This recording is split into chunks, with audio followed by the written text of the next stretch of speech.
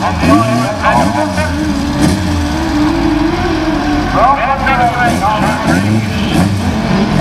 the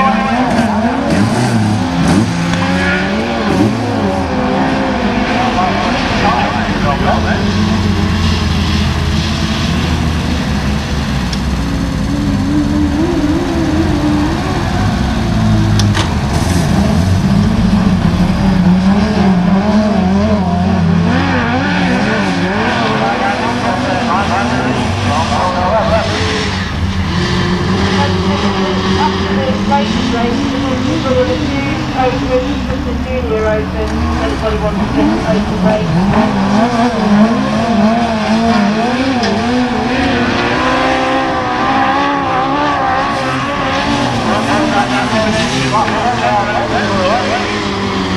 I'm not going to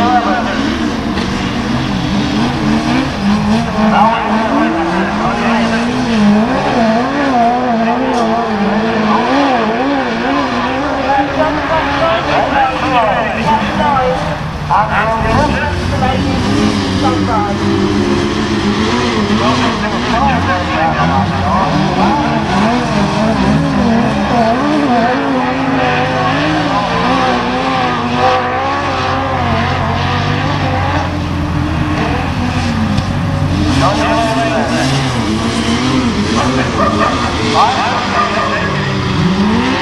right.